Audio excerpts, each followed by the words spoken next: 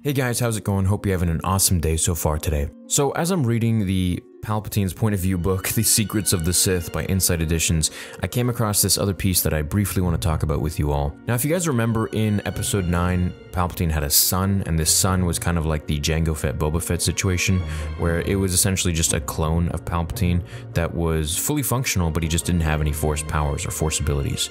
So from here, Palpatine said, Well, I'm just going to let you go free, because I may need to use your blood or tissue someday, anyways.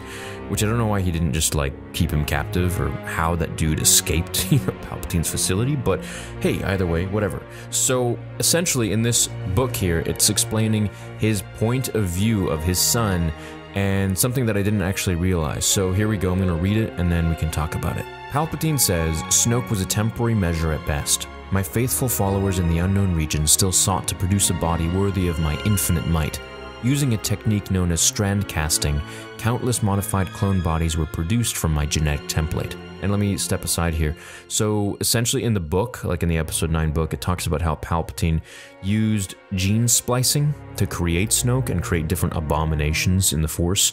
And it talks about how he was able to use Snoke, who couldn't use the Force, but he used Snoke as a conduit. So I thought that was actually kind of interesting. Okay, let's continue. Countless modified clone bodies were produced from my genetic template. All but one of them were utter failures. The lone subject that survived the cloning process lacked any connection to the Force. I rejected this useless creature, but I chose to let it live. Even if this son was undeserving of my legacy, I surmised that the Palpatine blood rushing through its veins might someday become useful. As always, my theory would soon prove correct. So this body, I'm thinking, and this is one of the reasons I'm making this video, is to elaborate on a theory I have, is probably in the possession of some Sith cultist somewhere. So Palpatine's point of keeping this guy, you know, and letting him grow into a full adult was to use his genes, use his blood in case he needed to. This is essentially a young Palpatine. Mind you, it's defective in Force abilities, but its abilities to regrow a new Palpatine are still very much there, and it's a young, fresh body. So I'm wondering if the specimens or the DNA or the samples of this human, of Rey's father, are still collected somewhere and still stored somewhere perhaps in pristine condition, and I'm wondering if someone is going to come along and clone this body, and perhaps they'll get it right this time, and you know what?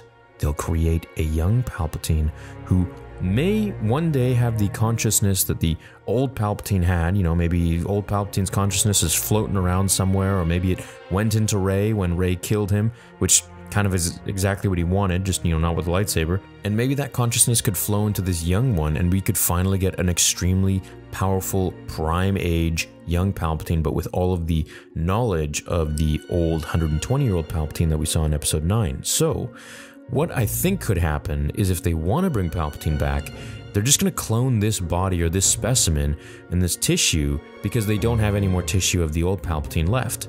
This is really the only sample that they have, and I doubt that they destroyed the laboratory that was probably on Exegol.